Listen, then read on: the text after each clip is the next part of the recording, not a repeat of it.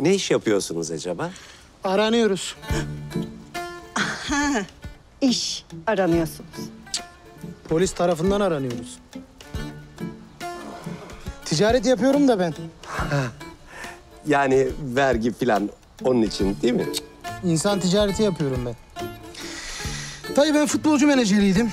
Öyle al saat derken bir baktım dinden imandan çıkmışım ha. Evde kullanmadığınız birey varsa okuturuz. Şu iş meselesini kapatsak. Kahveleri yapayım mı? Yap tabii bacım yap. Damada özel olsun hacı. Şu tuz, karabiber falan içeceğiz. Neden? Adettendir. Tuzunu yengeç. Direkt gübre koy hacı. Neyse şimdi bırakalım tuzu, karabiberi, kahveyi. Baba hadi. Efendim sebebi ziyaretimiz malum. Gençler Efendim ben lafınızı petekle böleyim. Bizim bazı isteklerimiz olacak. Takı makı hallederiz. Yok, takı falan istemiyoruz. Biz dükkan istiyoruz. Cadde üzerinde dört tane dükkan istiyoruz. niye? Adet, adetlerimiz yaşatmamız gereken. Dayı, takı dediğin nedir yani? Şimdi birbirimize takmayalım durduk yerde ya. Allah Allah. Sen temiz, üstümüze birer tüken yap. Daha da çekmeyek size. He zaten kızımız da kart. Vallahi düğün müğün istemez hacı. Masraf olmasın.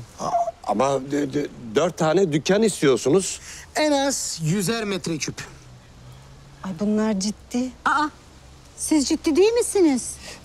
Oğlunuz ne işle meşguldü acaba? Efendim biz aileden tekstilciyiz, babadan, dededen filan. Ama oğlumun ecza depoları da var.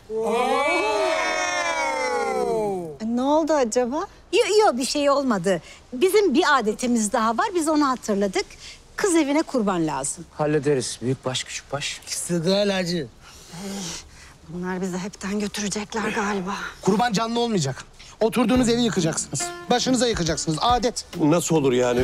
O öyle adet mi olur efendim? Nedir ki dayı? Allah Allah. Dozer kepçe. Evde olmadığınız bir saat diliminde dalınır. Siz konum atın. Adet yerini bulur.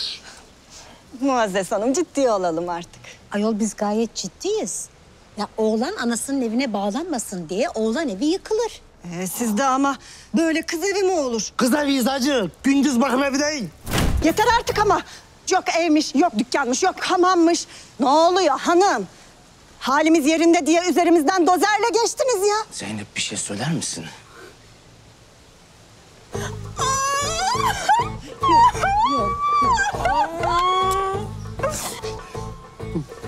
Ne bil? Oğlum yürü. Sen sağlıklı bir insansın. Ama bunlar değil. Kendini mahvedeceksin. Yürü oğlum. Hanım sen hemen yürü. Zeynep böyle olur mu ama? Z- Zeynep böyle... Hayır. Zeynep bu şekilde olur mu ya?